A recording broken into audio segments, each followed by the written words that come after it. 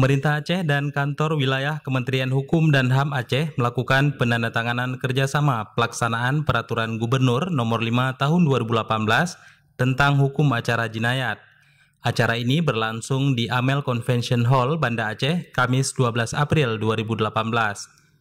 Penandatanganan tersebut dilakukan oleh Gubernur Aceh Irwandi Yusuf, Kakanwil Kemenkumham Aceh A. Yus Paharudin, dan Menteri Hukum dan HAM RI Yosana Loli. Sebelumnya, Gubernur menyambut kedatangan Menteri Yasona di Bandara Sultan Iskandar Muda. Keduanya selanjutnya menuju Gedung Amel Convention Hall. Selain menandatangani perjanjian kerjasama, kedatangan Menteri Yasona ke Aceh juga dalam rangka memberikan arahan kepada calon pegawai negeri sipil di lingkungan Kemenkumham Aceh yang baru lulus.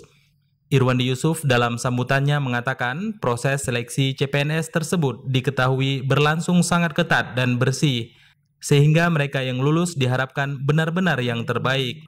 Semangat tersebut, kata Irwandi, menunjukkan bahwa Kementerian Hukum dan HAM Aceh senantiasa membangun komunikasi harmonis dan transparan dengan berbagai lembaga dalam proses perekrutan CPNS di daerah ini. Untuk itu, atas nama rakyat dan pemerintah Aceh, Gubernur mengucapkan terima kasih kepada Menteri atas kesempatan yang telah diberikan kepada putra-putri Aceh. Gubernur juga menjelaskan pemerintah Aceh saat ini sedang giat menjalankan program Aceh Hebat, yang salah satu prioritasnya adalah peningkatan kualitas di bidang birokrasi dan pelayanan publik. Pada kesempatan itu, Gubernur juga kembali menjelaskan bahwa pihaknya dalam menjalankan pemerintahan Aceh selalu menganut mazhab Hanafi atau tanpa mengenal istilah fi.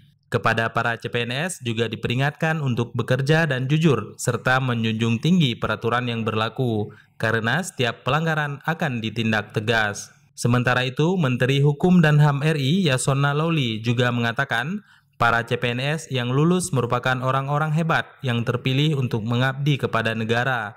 Untuk itu, mereka diminta benar-benar bekerja profesional.